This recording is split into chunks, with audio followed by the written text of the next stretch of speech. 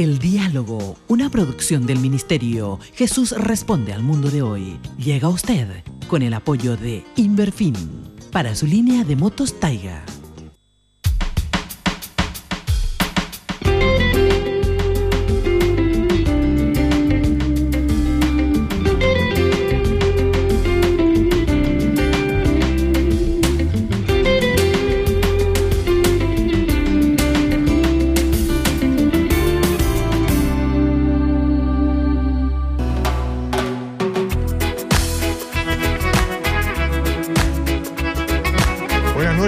Bienvenidos a una nueva edición del Diálogo. Un placer tenerlos acá. Gracias por preferir Red Guaraní, el canal de la familia. Eh, venimos una vez a la semana y tenemos la oportunidad de estar, sin embargo, en dos ocasiones a la semana, gracias a, que podemos reprisar este interesante, estos interesantes temas también los días domingos, ¿verdad? Entonces, el diálogo, una vez ubicado dentro de este canal, muy pronto ha logrado un poco una preferencia especial de parte de mucha gente, no solamente en capital, sino también en todo lo que hace a las principales ciudades del interior del país, eh, ciudades del interior de nuestra querida República del Paraguay. A todos, gracias por estar acá, muy buenas noches y bienvenidos. Walter Neufeld, ¿cómo estás? Buenas noches, Oscar, buenas noches para todos ustedes. Aquí estamos con, con el diálogo, estamos con un tema interesante, como siempre, también Reconocemos que en unos 50 minutos aquí o casi una hora no podemos agotar el tema. Seguro. Pero apenas eh, damos como un impulso como para que la gente pueda reflexionar o si alguien tiene pregunta llama sencillamente al 963-565 ahí a, la consejería que durante el programa o durante horario de oficina está la gente ahí como para responder preguntas que vienen a consecuencia de, lo que aquí se está dialogando. Miren, yo les voy a eh, mostrar el libro que vamos a obsequiar hoy, por gentileza de la librería La Respuesta, pero quiero que atiendan bien, porque yo les voy a dar el número donde ustedes pueden enviar su mensaje. El número donde pueden enviar los mensajes no es ese que aparece en pantalla, es el 11.222. A ese número ustedes van a enviar. ¿Y, qué quiero que pongan en, el mensaje? Aparte de su nombre y su documento de identidad, este, para ganarse ese hermoso libro, ¿Qué piensa usted del pueblo de Israel? En pocas palabras, ¿qué piensa usted del pueblo de Israel? Eh, dos o tres cositas nomás para conocer un poco su impresión. Y ponga su nombre, un nombre y documento de identidad por si usted sale adjudicado, entonces puede llevarse este hermoso material a casa. Porque hoy tiene que ver un poco nuestro tema con eso, con el pueblo de Israel, con una interesante este, marcha que se va a realizar acá próximamente. Walter, hemos puesto como tema cobarde silencio. Eh, a la producción se le ocurrió. ¿Qué te sugiere eso?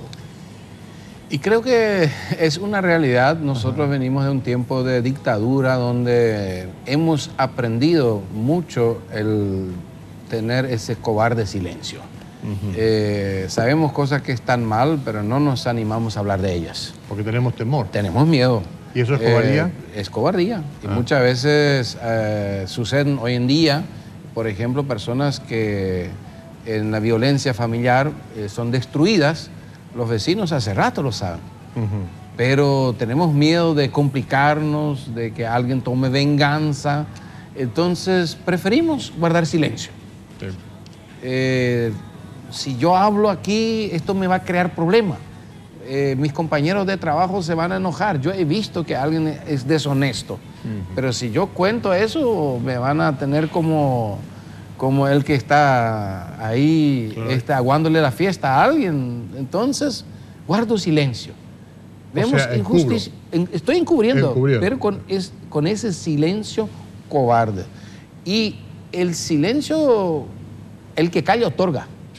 O sea, el silencio cobarde hace que le damos mucha fuerza a aquel que quiere hacer cosas malas o que está haciendo cosas malas, porque le estamos de alguna manera dándole una, una protección al delincuente con nuestro silencio. Qué notable. Vamos a presentarles a nuestros invitados. Hoy eh, nos visita una pareja, Elke eh, y Ralph Staimes. Elke, buenas noches, ¿cómo está?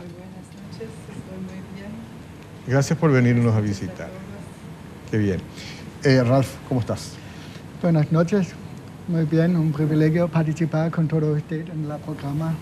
Bueno, gracias por venir. Entiendo que son de Alemania, ¿no? Sí, somos de origen alemanes. Vivimos ahora desde 10 años acá en Paraguay. Somos un ministerio de los transformadores. Ajá, qué bueno. Gracias por venir. Eh, Walter, entiendo que eh, ellos están trabajando fuertemente aquí eh, para ver si es que pueden ayudar a realizar una marcha que se denomina Marcha del Silencio. y eso queremos saber de qué, de qué se trata. ¿Quién, ¿Quién nos puede contar eso? ¿Podría decirnos? Marcha de memoria, o Marcha de la Vida. Hay dos nombres porque surge de de las marchas de la vida que se hicieron directamente en Alemania, en Ucrania, en todos estos o en algunos de estos lugares donde pasaron en la guerra Segunda Mundial estos tristes hechos. Se hacen estas marchas. Sí, se hicieron como, um, justo como dijo el pastor Walter Neufeld, um, después de la guerra, toda la gente volvieron víctimas y también los agresores, nuestros antepasados, y, guardaron silencio. Querían una nueva vida, querían olvidar la guerra y no se hablaron mucho de las muchas cosas malas que pasaron durante la guerra. Y, um, y muchas otras personas que no eran directamente involucrados vivían en una indiferencia ignorancia. y, en trabajar con, con, estos hechos y en arrepentirse, pedir perdón, um, hubo, hubieron los primeros marchas. Y de estas marchas ahora surgen marchas de memoria que se hace um, alrededor del día de Yom HaShoah, que es el día um, anual del recuerdo del holocausto o mejor dicho Shoah. ¿Quiere agregar algo usted a esto de la marcha? Sí, esa es la meta de la marcha, conmemorar que ocurrió en por esa fecha Yom HaShoah, romper el silencio sobre el antisemitismo actual. Pero qué, pero, pero qué notable que ustedes siendo de origen alemán, ¿eh? ¿verdad? Tengan que interesarse por una marcha así? ¿Por qué, ¿Por qué surge ese interés? Era así. Antes yo no sabía mucho de la historia. Creciendo en Alemania uno um, no sabía tanto y un día en la escuela, en un libro, he leído ese de, Auschwitz, del campo de concentración. Y llegué a casa y, dije, mamá, ¿ese pasó realmente? Y me dijeron, sí, ese pasó, ese era un mal tiempo. pero ¿qué podríamos hacer? Nosotros no estuvimos en el partido, era un mal tiempo y después hubo silencio otra vez. Y que realmente pasó desde más o menos ocho años o diez años, hay un movimiento entre iglesias en Alemania que ven Um, qué pasó y qué pasó en la familia. Claro, se, ya se ha trabajado mucho generalmente, pero ahora um, muchos ven dónde vengo, qué hizo mi papá, mi abuelo en la guerra, qué pasó y, estudiando la historia es una cosa muy triste. Se, hay, hay, hay, un sentimiento, pregunto, un sentimiento de, de culpa este, que quieren transmitir ustedes como, como digamos, originarios de, Alemania, porque generalmente este, toda, toda la concentración de ideas y de pensamientos negativos que la gente tiene con respecto al holocausto, quiera ser o no, se remite a, ese país, ¿no?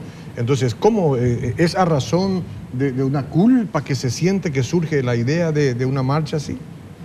Claro, si uno ve la historia, se ve mucha culpa, mucho, pecado y, muchas cosas crueles. Yo, yo, yo escucho algunas historias, o ahora ya muchas historias, pero eh, de verdad hay seis millones de historias ya solamente judías.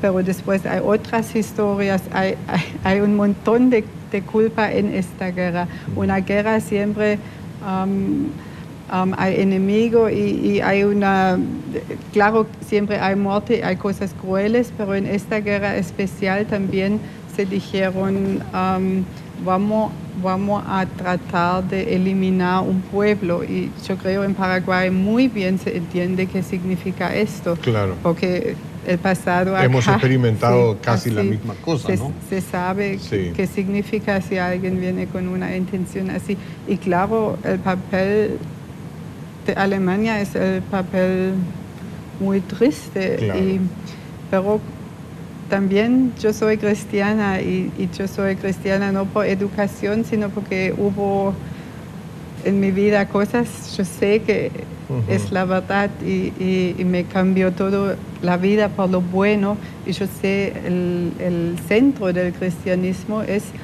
si sabemos que hemos hecho algo mal, podemos arrepentirnos y lo importante es tomarlo en serio y andar en otra dirección. Y por esto... Sí. ¿Qué, representa? Ahora nosotros preguntamos a la gente para que la gente también nos cuente qué piensa del pueblo judío, ¿verdad?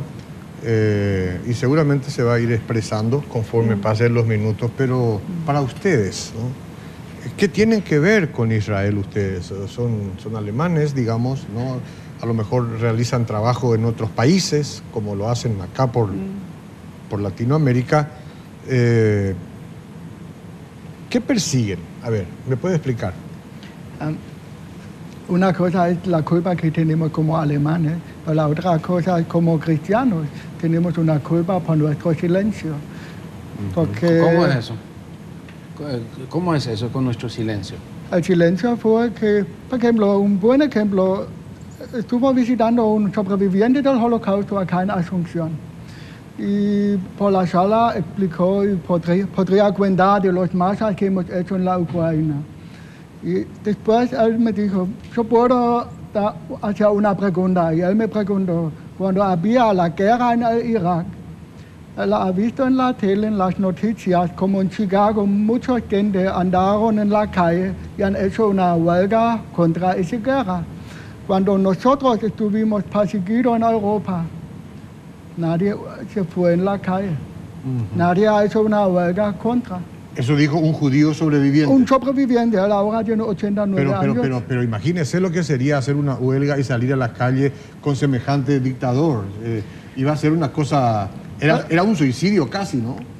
Que nosotros en nuestra historia sabemos, toda la iglesia se quedó silencio. Todas las denominaciones estuvieron más o menos en un acuerdo con Hitler para tener privilegios. Claro, habían algunos cristianos que se levantaron, pero ellos terminaron en el campamento de concentración. Pero la grande mayoría se quedó en silencio. Y ese sobreviviente también me ha dicho, no solamente en Europa, también en, en otros países, los ingleses o americanos podrían con sus aviones atacar los vías de tren o destruir el campamento de concentración pero ellos destruyeron las ciudades alemanas, pero los vías de tren y el campamento dejaron. Okay. Yo creo, es un, si los cristianos se han levantado en ese tiempo, yo creo Hitler no podría hacer que quería. Mm. O sea, se tiene que entender que los cristianos también este, voy a hacer una pregunta y después vamos a ir a la pausa y mm. Al regreso. ¿Los cristianos también tenían entonces contagiada la idea del antisemitismo o, era más bien una cuestión de temor, de miedo, de cobardía que no permitió, digamos, mm. que ocurran cosas como la que está eh, manifestando acá Ralph? Vamos a contestar esto al regreso de la pausa. Un momentito y volvemos.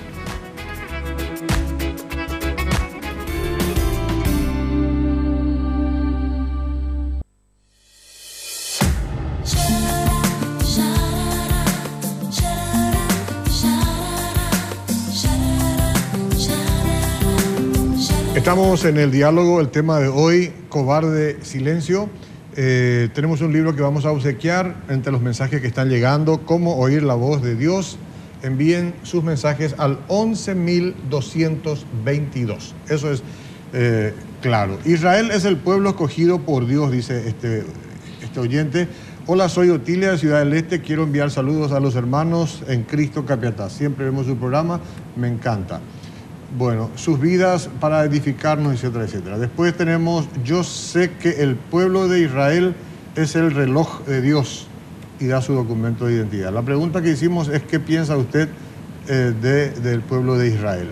El pueblo de Israel debe ser protegido por la comunidad internacional Eulalio Campos. El siguiente dice, buenas noches, hermanos, bendiciones. El pueblo de Israel es el pueblo de Dios. Tenemos el mandato bíblico de orar por la paz de este país. Dios bendiga.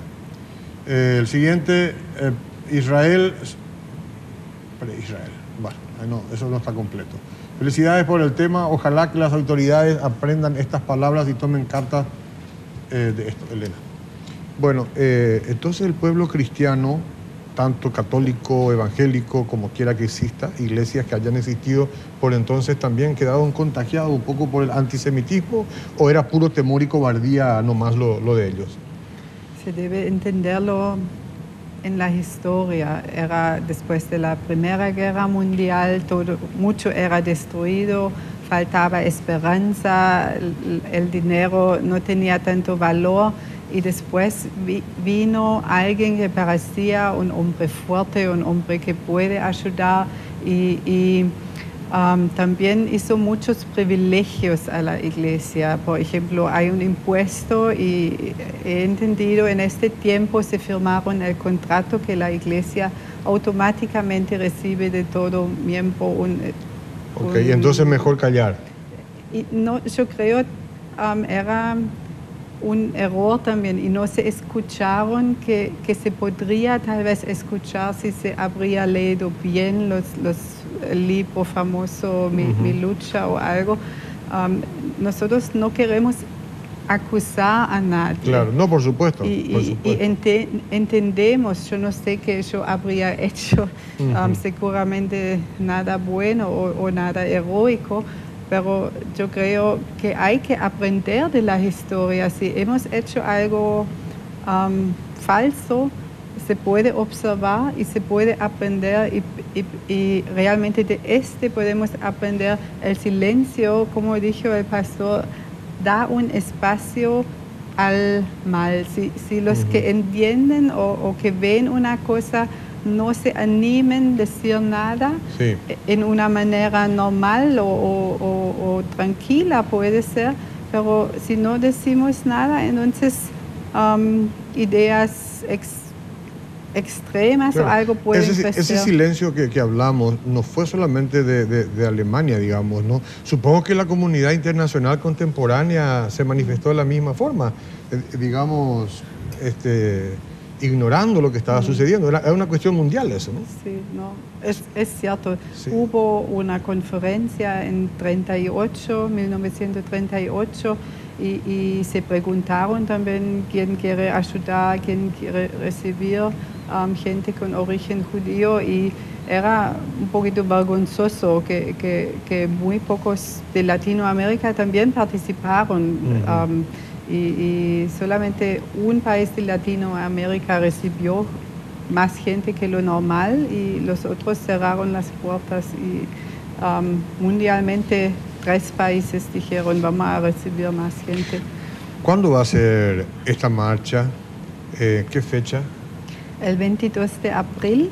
22 o 23 me dijeron. 22. 22 de abril. Domingo 22. Domingo 22 de abril. a las 14.30. Sí.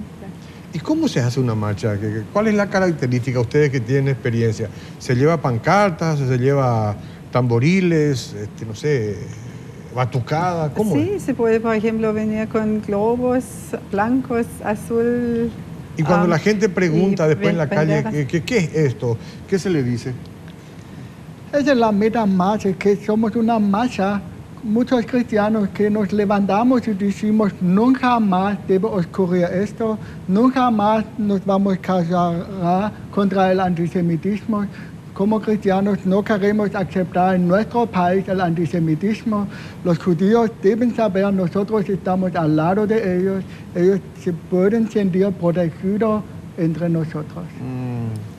¿Será que ellos sienten, eh, sienten esta manifestación como una adhesión de apoyo para el pueblo de Israel?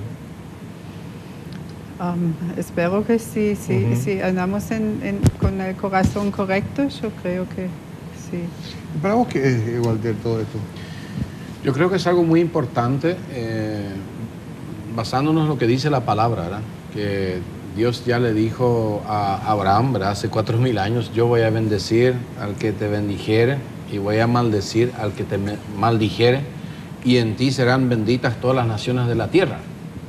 Eso fue hace cuatro mil años. Hace dos mil años nació Jesucristo como Salvador para todas las naciones de la tierra. O sea, de parte de la Biblia hay un mensaje muy claro. Si una nación bendice Israel o un pueblo bendice Israel o una persona bendice Israel, Dios le bendice. Pero también si lo maldecimos. Y una forma de maldecir es que nos callamos a las injusticias que se le hace a Israel es una forma de participar de la maldición pero, callando. Pero ese, pero ese país, que esos países que estuvieron fuertes, eh, los más responsables en este asunto, son países muy bendecidos a pesar de todo. ¿Cómo se entiende eso? Bueno, muchos de ellos han tenido también su época de arrepentimiento, ¿verdad?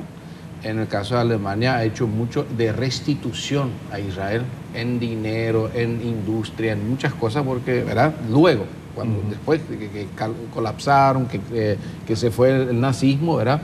Hubo, hubo una parte de reconocimiento y un esfuerzo, digamos, político como nación, buscar de enmendar de, de alguna forma lo, que se podía, porque en las vidas no se podía recuperar, Y, todo lo, cruel que había sido.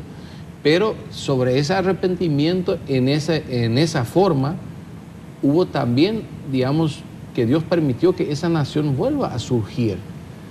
Pero hay una parte espiritual que la iglesia cristiana tenemos que hacer, que es reconocer que nosotros tenemos que saber que Israel sigue siendo parte del plan de Dios. No es como un tiempo se interpretó desde que existen los cristianos, Israel ya no tiene más nada que ver con el plan de Dios. Dios tiene su plan, su historia con Israel, la sigue teniendo y lo va a tener hasta el final de la historia de la humanidad. Y nosotros los cristianos tenemos el deber de reconocer que hemos sido bendecidos de parte de Dios a través de Israel. Y que Dios espera de nosotros que podamos bendecir a esta nación. Eso muchas veces no hemos sido enseñados, pero, pero, la Biblia nos habla muy claro de ello. Pero ¿qué dicen ustedes? Israel es un pueblo con gente buena y mala como cualquier otro pueblo, gente de fe y gente atea, ¿no? porque entiendo que entre los judíos están los que no creen nada, están los que creen seguramente en Dios, el Creador, y están algunos mesiánicos también, ¿no? Pero es un pueblo como cualquier otro, con, con ciertos vicios muy parecidos también a los de cualquier otro pueblo del mundo. Eh, igual nomás tenemos que actuar en favor de ellos. Sí, claro. Ah, nosotros debemos amar todos nuestros enemigos pero no se trata que los judíos son nuestros enemigos, sino como cristianos debemos comprender el plano de Dios y el pacto que Dios ha hecho. Y nosotros como cristianos solamente existimos para los judíos. Dios ha dado una revelación es por Abraham y por Moisés y por el marcha que ellos tenían por el desierto en su tierra prometido. Y ese nosotros podríamos aprender de ellos para conocer a Dios. Que a mí tocó mucho fue un judío, cuando yo hablé con él sobre el fe, él me dijo, pues ¿sabes qué es fe? Y yo dije, sí, creer. Y él dijo, no, es escuchar y hacer.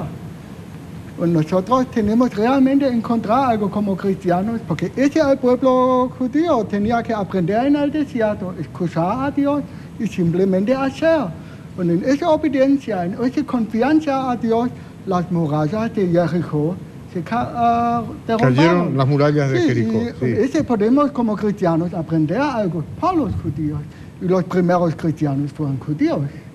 Nuestros padres espirituales en la primera iglesia fueron judíos. Jesús fue judío. Todo su pensamiento, su forma de actuar fue hebreica. Ok, ok, ok. Ahora, ¿cómo, cómo nos cuidamos para que, eh, porque acá el pastor siempre habla de tener cuidado con, con idolatrar las cosas. la idolatría. Y a veces la gente idolatra un yeso, una madera, una estatua. ¿Hasta dónde vamos y nos cuidamos de no idolatrar a Israel como, como tal? Este, porque supongo que ese es un peligro también, ¿no? Y creo que aquí justamente estamos ya mencionando, ¿verdad? Israel no, no es que bendecimos a Israel porque Israel hace todo bien. Bendecimos a Israel porque Dios dijo que lo hagamos. ¿Verdad? Y porque Dios tiene un plan con este pueblo. Y porque hemos sido bendecidos por la historia de Israel, porque está todo el Antiguo Testamento, la Biblia, toda, toda la Biblia registra, o sea, la mayor parte de la Biblia registra la historia de Israel, el plan de Dios con una nación y a través de esa nación el plan de Dios para bendecir a todas las naciones de la tierra. Entonces, no es que bendecimos a Israel porque decimos en Israel la política es perfecta, la moral es perfecta, la fe es perfecta y por todo lo que hacen esa gente, no, no, no es en ese sentido, sino en obediencia a la palabra de Dios y en reconocimiento cómo la humanidad ha sido bendecido a través de este pueblo y cómo este pueblo ha sufrido el desprecio y el maltrato de toda la humanidad, o que de casi toda la humanidad, ¿verdad? Entonces ahí decimos, eh, nos, sentimos culpables, que no hemos sabido honrar a esta eh, nación. Eh, somos derivados un poco del, digamos, de los judíos, los cristianos. ¿Qué piensan ustedes? ¿Los judíos nos miran con el mismo aprecio? Eh, a lo mejor acá vamos a decir cosas que no sabemos bien, ¿verdad?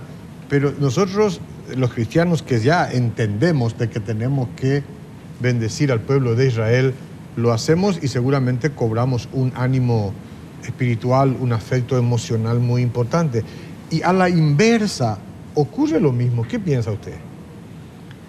Yo creo hay que ver de la historia. Yo creo um, la gente tiene muchas heridas porque sobre siglos han sido injustamente perseguidos, también han sufrido mucho envidia, muchos celos y, hubo muchas mentiras. Y yo creo más que todos otros, ellos um, solamente quieren ser personas normales, comunes y um, aceptados. Y a veces no se sienten en casa, ¿no?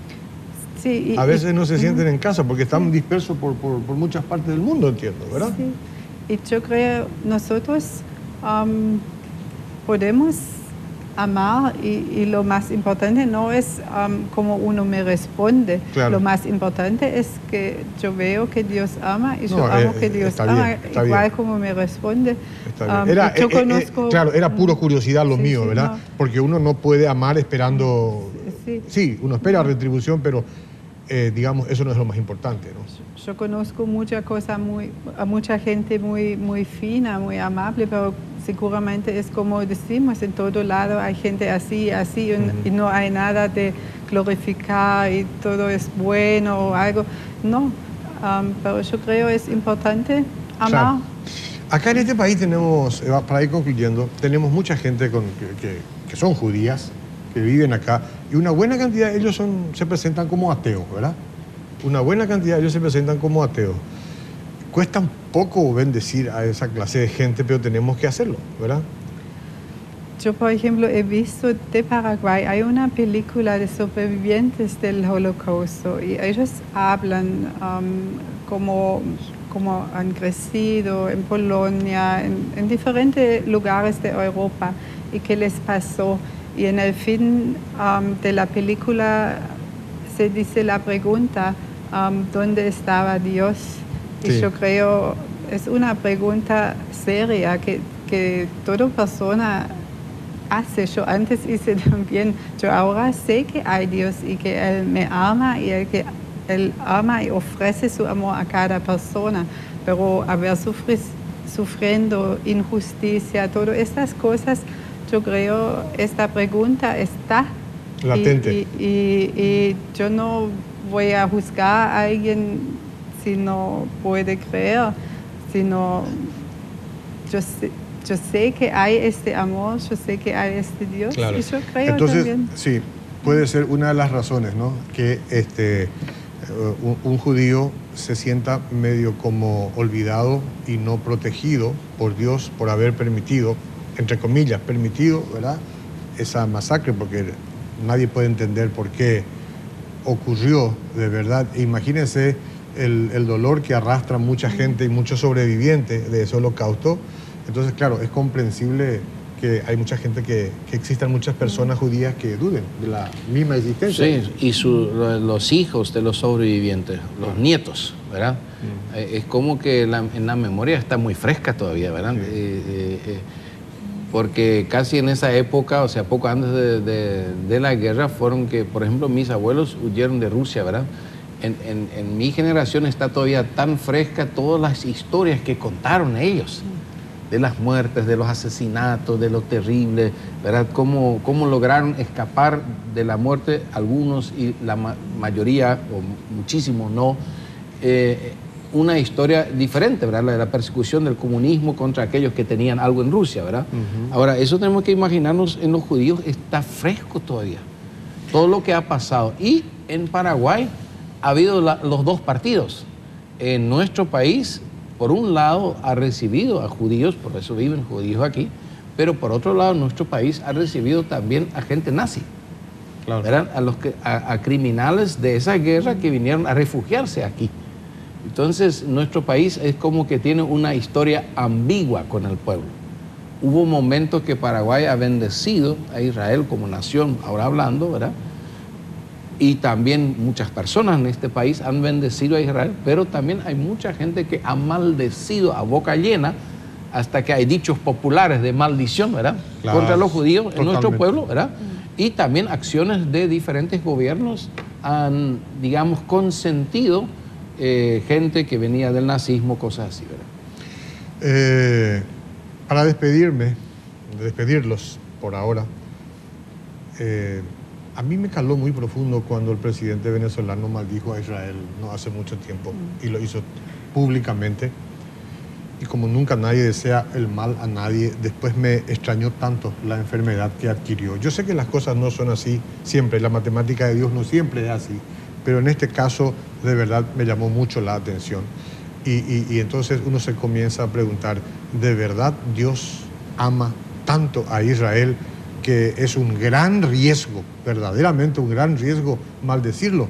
Bueno, cada uno puede sacar sus propias conclusiones. Por ahora tenemos que agradecer la presencia de este matrimonio, Ralph y Elke Staimes.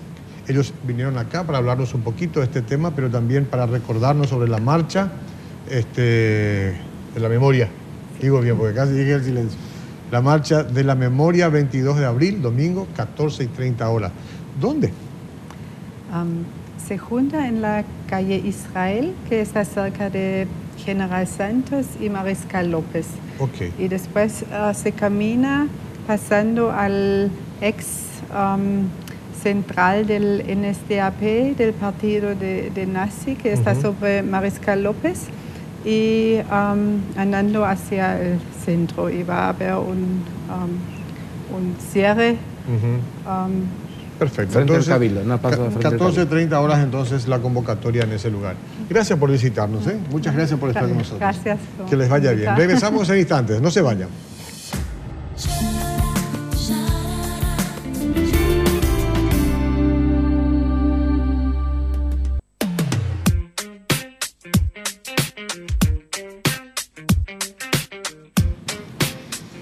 Estamos en el diálogo.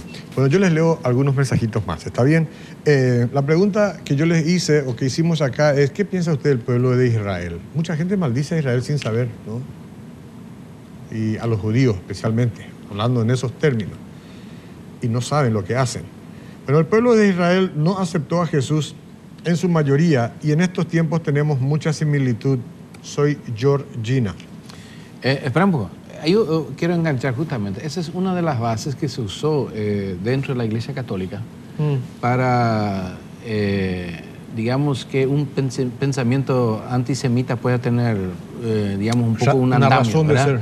Si los judíos le mataron a Jesús, ellos son responsables, así que este, Israel terminó, ¿verdad? Ah, por ahí viene. Eh, lo, en la iglesia luterana fue con Lutero que mismo lo que comenzó porque su esposa era antisemita.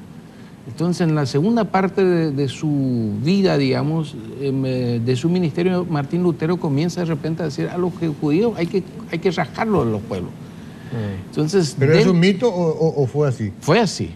Entonces, dentro de las iglesias mismas hubo pensamientos muy irresponsables y totalmente con, que, no son conciliables con lo que enseña la palabra de Dios. Porque si, no, si vamos a, quemar a todos los que nos reciben a Jesucristo, vamos a quemar más de la mitad del Paraguay.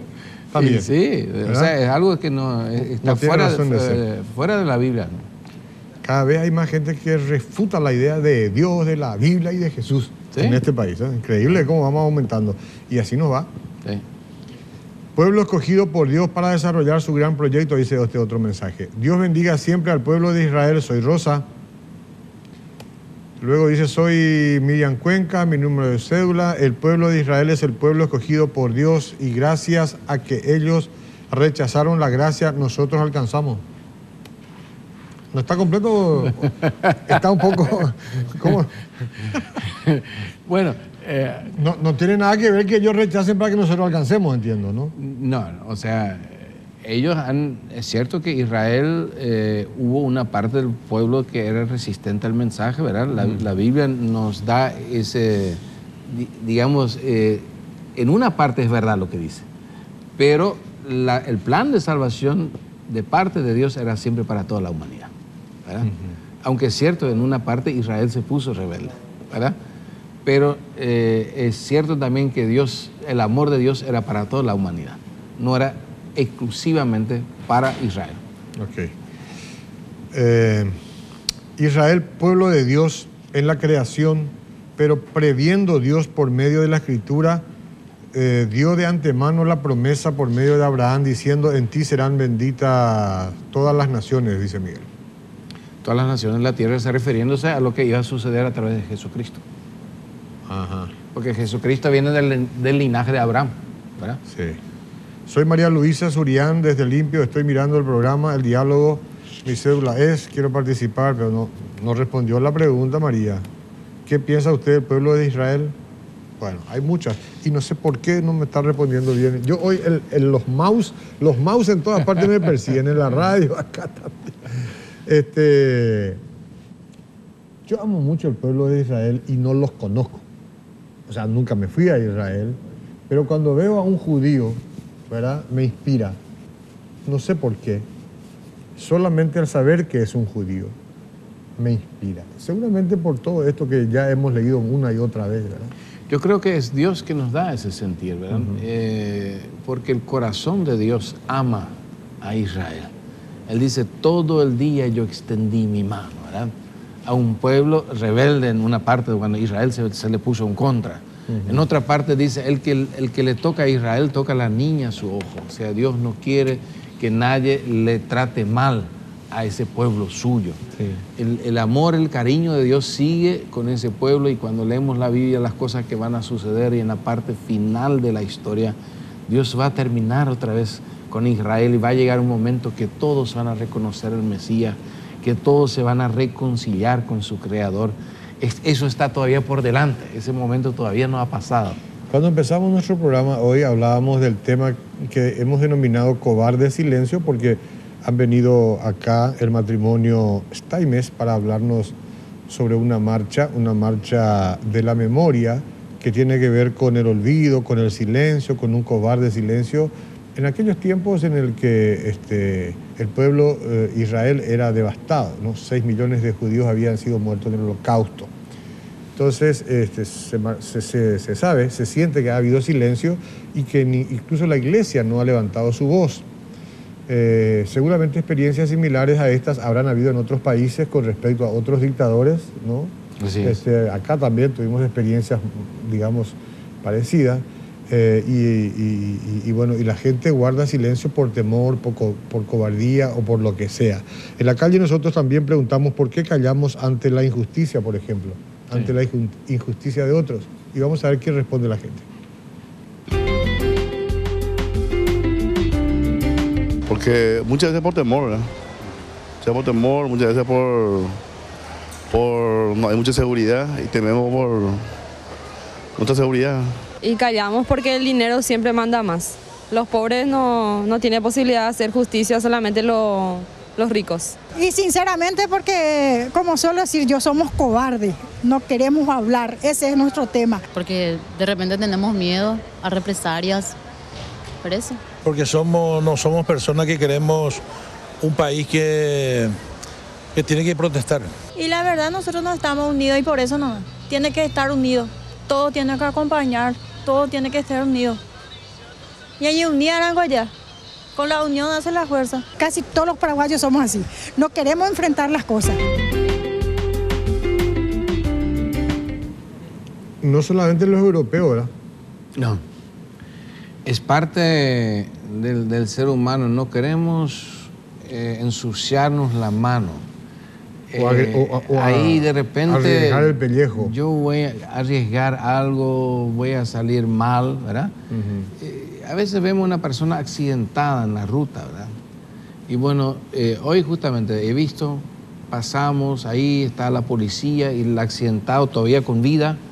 Nadie le alza, le lleva por, por no querer asumir ese compromiso, si yo le llevo y después qué, ¿verdad? No, pero no se puede, no se puede luego, Walter. Tiene que venir la ambulancia. Pero si nosotros no le ayudamos y él se muere, ¿verdad? Nos salvamos una vida. Mm, no, claro. Nos salvamos una vida, podíamos salvar. A veces unos minutos juegan la vida. Y tantas situaciones pasamos. Y la Biblia dice que los cobardes no van a ir al cielo, Oscar. Nosotros los cristianos no podemos pensar que nos podemos lavar la mano y que Dios no nos va a tomar en cuenta ese pecado. Eso de, de callar, de guardar silencio y permitir que otra persona sea tratado injustamente, que un niño sea perjudicado, sea golpeado por la violencia, eh, que un anciano no reciba su derecho, eh, una persona minusválida, que nos callamos eh, con, con nuestro silencio, nosotros cometemos un pecado gravísimo ante Dios. Y eso tiene que ver también con Israel. Hoy en día mismo, cuando se pronuncian gobiernos y dicen Israel hay que borrar del mapa, como lo dice el gobierno iraní, ¿verdad? Y nosotros eh, aquí en Paraguay de repente decimos simpatizamos con posiciones como tales, eso es gravísimo si fuese así, porque nosotros estamos maldiciendo o aliándonos con la maldición por un lado. Por otro lado, como cristianos deberíamos pegar el grito al cielo y decir, señores, esto trae maldición. No podemos así livianamente maldecir a Israel y pensar que vamos a escapar así nomás. Dios va a tomar cuenta de eso, porque Dios nos ha llamado como cristianos que podamos bendecir y que todos los pueblos, nuestro deber es bendecir si queremos ser bendecidos por Dios. A ver,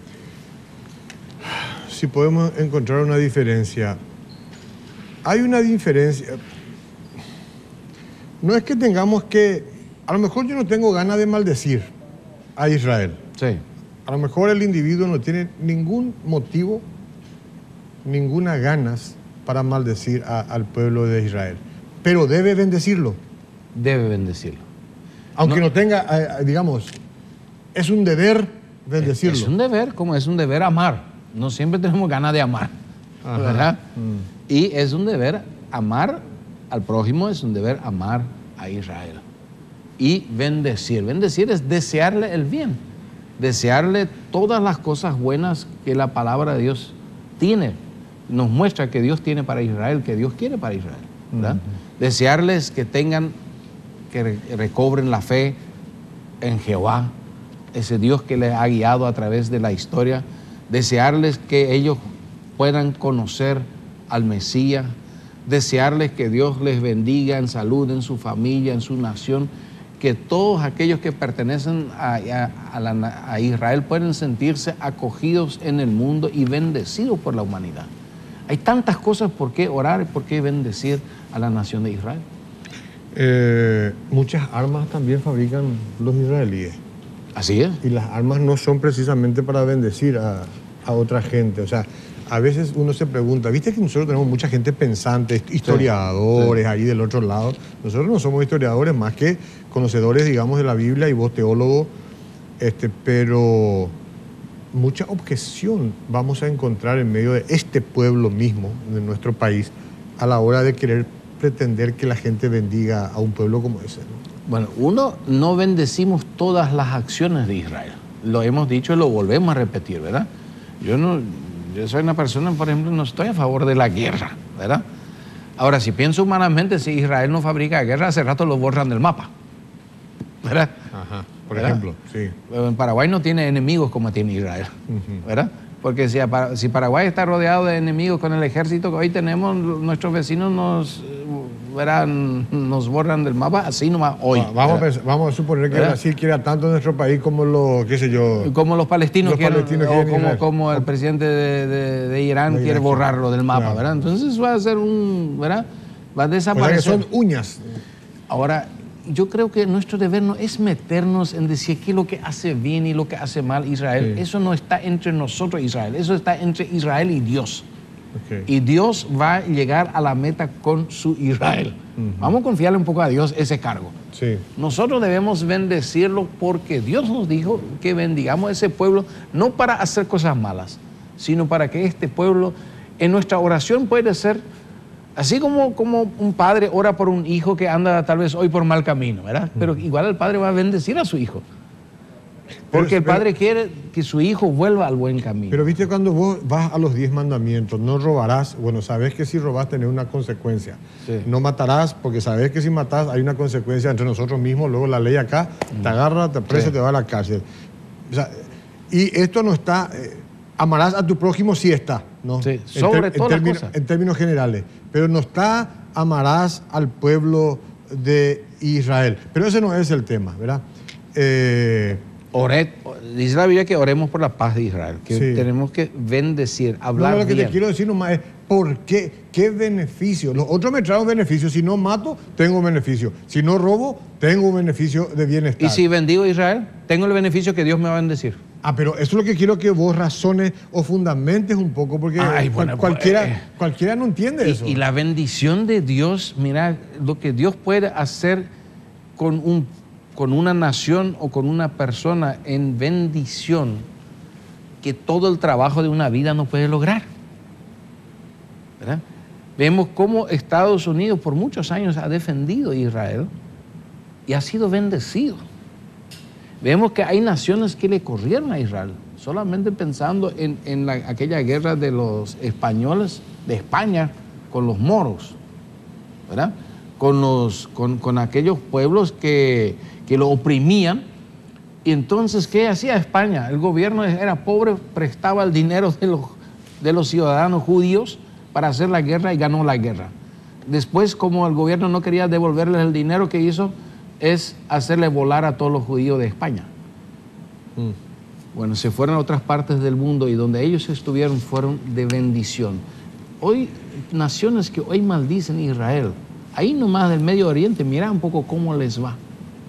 Cómo viven esas naciones que, que, que maldicen Israel. No viven bendecidos. Yo conozco personas, vidas, que maldicen, que dicen los judíos son culpables de todos los problemas financieros, esto, aquello. Y yo miro las vidas de esas personas, miro su familia, Oscar, es una tristeza, es una amargura. Mm. No es dichoso, no es bendecido una familia que maldice a Israel. Ahora, si una familia que bendice a Israel también es bendecido. Es un principio que Dios pone, como la ley de la gravedad. El que quiera oírlo, que lo escuche, que lo reciba. O sea, si yo soy un paraguayo o soy un argentino o un boliviano o un peruano o un canadiense, oro por mi país y tengo el deber de orar y bendecir también a Israel. Y si soy un palestino también. Es casi como una segunda nacionalidad. Si sos un árabe, ¿verdad? Si querés la bendición de Dios, Israel. Si soy un árabe. Sí, te va a ir bien. Eso me va a costar más. Sí, te va a costar, es cierto por, la, por, por toda la polémica, la guerra, por, todo lo que, por toda la historia que ha habido. Pero si lo bendice, le va a ir bien, porque Dios va a bendecir esa actitud. Eso debemos entender que es Dios el que marca la regla de juego. Entonces, para que nosotros no estemos enmarcados dentro de los cobardes que guardan silencio, o del cobarde silencio, y de hecho que no, por lo menos vos ya no estás dentro de esa categoría, ni tampoco nuestros invitados de hoy, porque están alzando una voz, ¿verdad? En virtud del nunca más, una cosa como esta, y en virtud del pueblo de Israel también. ¿Qué querés agregar al respecto? Y quiero decir que, que nosotros hoy podamos tomar esa decisión de orar para que Paraguay pueda bendecir como nación, nuestros gobiernos que puedan bendecir Israel. Pero por eso podemos orar porque cada gobierno de turno tiene en su mano el sí o el no. Pero cada uno de nosotros podemos tener una actitud personal de bendecir a Israel, de bendecir a los judíos y de desear que se cumpla el plan de Dios con ellos. Y por otro lado, cada uno de nosotros tenemos la oportunidad de recibir la bendición que nos viene a través de Israel que Dios nos da en la persona de Jesucristo. Usted y yo podemos recibir a Cristo en nuestro corazón. Por medio de Él tenemos el perdón de nuestros pecados. Por medio de Jesucristo llegamos a ser parte de la familia eterna de Dios, del eterno Israel, digamos, espiritual de Dios, aunque existe el Israel como nación existe también ese, ese pueblo de Dios, esa iglesia de Dios, con la cual Dios tiene un proyecto por toda la eternidad. Eso no es una fantasía, eso es una realidad, es el plan de Dios para la humanidad.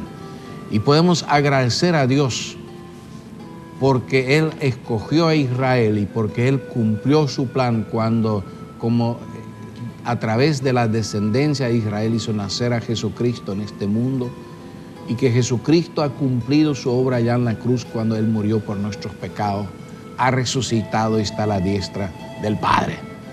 Así que aparte de orar por Israel, podamos recibir a Cristo en nuestro corazón. Podemos pedirle perdón a Dios por nuestros pecados, perdón a Jesucristo y que podamos bendecir y ser de bendición. Si usted siente eso en su corazón, le invito a orar conmigo. Oremos ahora, juntos. Señor Jesús, gracias que viniste en este mundo. Gracias Dios por escoger a Israel como nación tuya y por ofrecerme a través de Jesucristo el perdón y la vida eterna. Hoy me arrepiento de mis pecados. Me arrepiento de haber guardado silencio ante las injurias contra Israel y contra tu santo nombre, oh Dios. Perdona todos mis pecados. Entra en mi corazón Jesús, y hazme nacer de nuevo. En tu santo nombre estoy orando. Amén. Dios quiera le haya surgido a usted el deseo de conocer cómo nace Israel, cómo se funda Israel, qué, quién, qué es Israel. Vaya a la Biblia, ¿no? Y ahí en el Antiguo Testamento, en los primeros libros, y conocerá eso, Ahí está. Bueno, la persona que se lleva el libro tiene el nombre de Jorgina. 626-085. Jorgina, pase a buscar el libro acá del canal. Red Guaraní. Muchas gracias por estar con nosotros. Gracias, Gracias, Oscar, y lo esperamos a todos el 22 de abril a las 14.30 horas para la marcha. Hasta la próxima. Hasta la próxima. El diálogo fue una producción del Ministerio Jesús Responde al Mundo de Hoy, con el apoyo de Inverfin.